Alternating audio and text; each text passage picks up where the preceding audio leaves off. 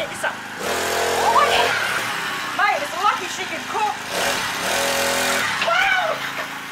G'day lovelies, welcome back. Alright, it's windy and cold today, perfect day for baking. So I've always used my square cake tin to make the small one. Now this is a 7 cup tin. So if you don't have a square cake tin, you can use a round one. But you don't want to use a springform tin with the loose bases because you'll just have shit everywhere. It doesn't have to be a tin either. It can be any sort of little oven dish. But you want a shallow one like that is. And you want it 7 cup. Alright, you want to get your dish and make sure you've got a big oven dish that you can sit it in comfortably. Because bread and butter pudding is a custard, we need the dish in the water to keep it from going all dry. Preheat your oven to 160 degrees Celsius.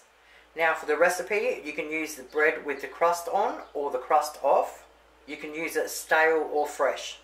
So back in the olden days, what we used to do is every time there was a few slices of bread left over or they were stale, is we just freeze them and then once you had a heap freezed up, you had enough to make a few bread and butter puddings. Alright, I'm going to do this one with the crust on. So what we want to do first is get your first bit of bread and we just want to put a nice thin layer of butter or margarine on. And then place it in our tray. And then just cut them all to fit and layer one layer on the bottom. Now it doesn't have to be neat, it just has to cover the whole bottom nice and flat. Now we want to sprinkle as little or as many sultanas as you want. If you don't like many, you don't have to put many in. If you don't like sultanas, you can always use any other sort of dried fruit. Just cut it up to the size of sultanas. But I'm just doing it exactly how Nana used to. Then we want to get our plain white sugar and sprinkle a tiny little bit all over.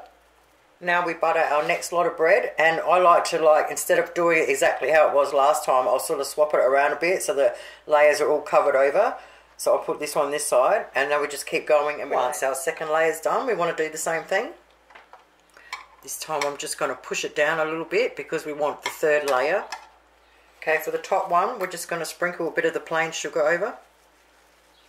And we're going to set it aside for a minute. Now into a jug, we want to crack three eggs whisk them up. Now we want to add half a cup of caster sugar and whisk that in. Almost forgot the one important ingredient, vanilla extract. And if you don't have extract, you can always use essence. One teaspoon and whisk that through. Now we want to add three cups of milk and we want to whisk that through really well. Once that's done, move it away, grab out our big oven dish tray thingy, put our little one in it Alright, give your custard one more quick whisk. Now we just pour it all over slowly and as we're doing it, get it into all the gaps in it first, the bread will soak up the custard. So take your time, and if it starts filling up too much, wait a minute until the bread sucked it up and then go again. Alrighty, once we've got every last drop over, we want to get some nutmeg. Now if you don't like nutmeg, you can always sprinkle a little bit of cinnamon.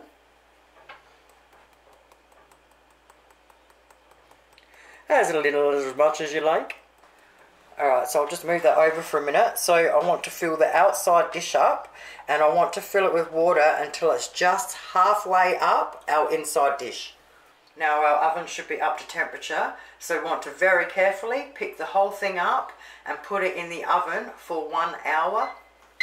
Oh yeah, baby! Exactly one hour later in my plain electric oven. Now I'm just going to take it out and put it on the sink because the steam will steam it all up. So with a tea towel, I'll pull it out and then get a tea towel ready to sit on because it's wet. Mate, all I can smell right now are memories. so you'd normally serve it warm. Um, you can leave it and then when it goes completely cold, you can wrap it in glad wrap and stick it in the fridge. And it's beautiful to eat cold as well. And it will last three to four days easy.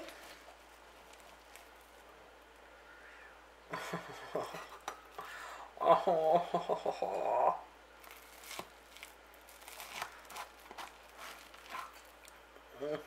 Mate. It just doesn't get any better than this for old school cooking, I'm telling you. The most simplest things were the most comfortable. Well, there you have it, lovelies. Nana's iconic bread and butter pudding. Give it a crack. You won't be disappointed. It will be one of your family favourites.